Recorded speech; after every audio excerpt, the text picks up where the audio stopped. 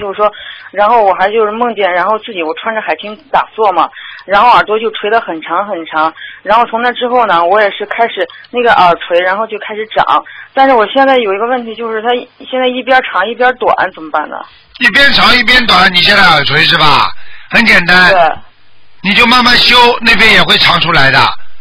哦，它不是一起长的。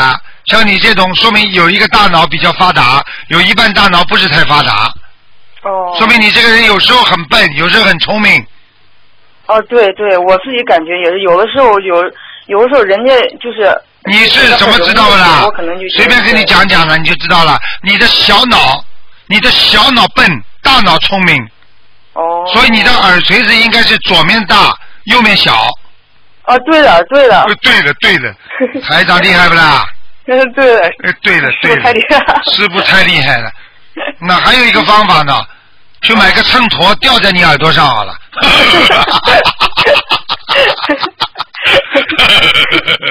你就开心了，跑出去吊一个，右面吊个秤砣就好了，慢慢就大了。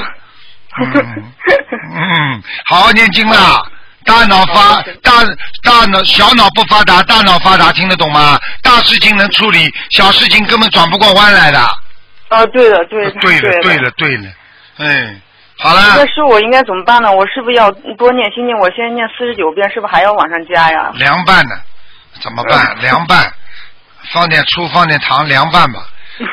我告诉你，好好念心经，而且呢，自己拿把梳子多梳梳自己前面头脑，让自己大脑血管能够疏通一下。